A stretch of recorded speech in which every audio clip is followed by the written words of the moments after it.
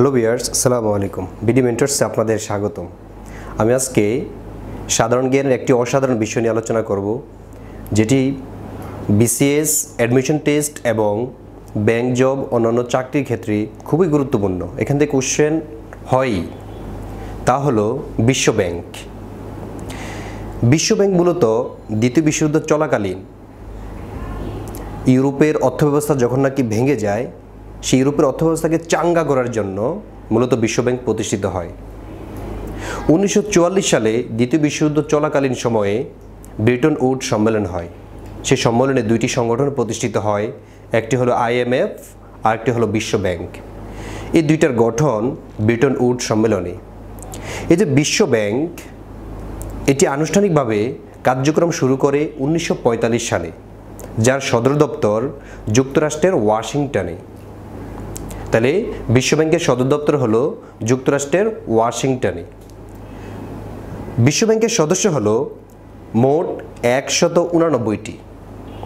বিশ্বব্যাংকের সদস্য একশো উনানব্বইটি, একশো উনানব্বইতম সদস্য রাষ্ট্র নাউরু তো প্রশ্ন হতে পারে, বিশ্বব্যাংকের একশো উনানব্বইতম সদস্য রাষ্ট্র কোনটি? তাইলে হবে নাউরু আচ্ছা বিশ্বব্যাংকের বর্তমান প্রেসিডেন্ট ডেভিড মেলপাস। তাহলে প্রশ্ন হতে পারে, বিশ্বব্যাংকের প্রেসিডেন্ট কে, বর্তমান প্রেসিডেন্ট কে? তাইলে হবে ডেভিড মেলপাস। আর বিশ্বব্যাংকের মূল সংস্থা পাঁচটি, IBRD, IDA, IFC, MIGA and ICSID. এই পাঁচটির হচ্ছে গিয়ে বিশ্বব্যাংকের মূল সংস্থা। এখন যদি কোশ্চেন হয়, বিশ্বব্যাংক বলতে মূলত কোনটিকে বোঝায়? তাইলে হবে IBRD international bank for reconnection reconstruction and development এটা হলো মূলত বিশ্ব ব্যাংক আইবিআরডি আর এই আইবিআরডি হচ্ছে গিয়ে আইবিআরডির কাজ হলো যে সকল দেশের জিডিপি আটশো মার্কিন ডলারের উপরে ওই সকল দেশকে ঋণ প্রদান করে। দুই I IDA international development association যেটাকে সফট লোন উইন্ডো বলা হয়।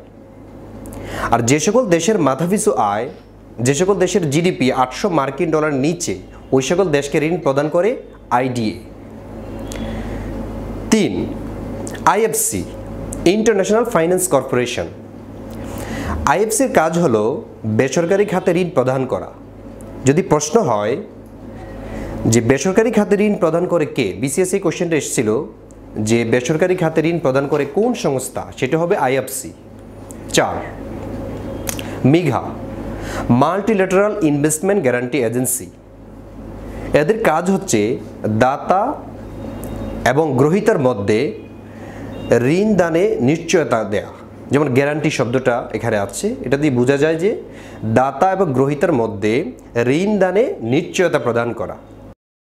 পাঁচ ICSID international centre for settlement of investment disputes, যাদের কাজ হচ্ছে দাতা গ্রহিতার মধ্যে যদি কোনো প্রকার সমস্যা দেখা দেয়, তাইলে সমস্যার সমাধান করবেন। এক কথায়, দাতা গ্রহিতার মধ্যে সমস্যার সমাধান করে যে সংস্থা, সেটা হলো ইক্সিড তো বিশ্বব্যাংকের সদস্য হতে হলে একটি শর্ত আছে। সে শর্তটা কি? শর্ত হচ্ছে সদস্য হতে হলে তাকে আইএমএফ এর সদস্য হতে হবে। আইএমএফ এর সদস্য হলেই পরে বিশ্বব্যাংকের সদস্য হওয়া যায়।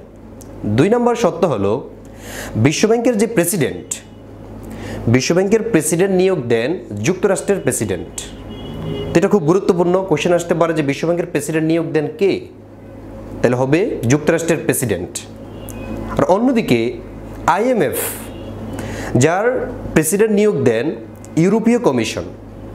ইউরোপীয় ইউনিয়নের যে কমিশনার, তিনি হচ্ছেন গিয়ে আইএমএফ এর ইন্টারন্যাশনাল মনিটারি ফান্ড এর প্রেসিডেন্ট নিয়োগ দিয়ে থাকে। তো আজ এই এই পর্যন্তই। সবাইকে ধন্যবাদ আমাদের ভিডিওটি দেখার জন্য। পরবর্তী আপডেট পেতে আমাদের বিডি মেন্টার্সকে সাবস্ক্রাইব করুন এবং কি শেয়ার, লাইক, কমেন্টস দিয়ে আমাদের সঙ্গে থাকুন। থ্যাংক ইউ সবাইকে। সালামু আলাইকুম।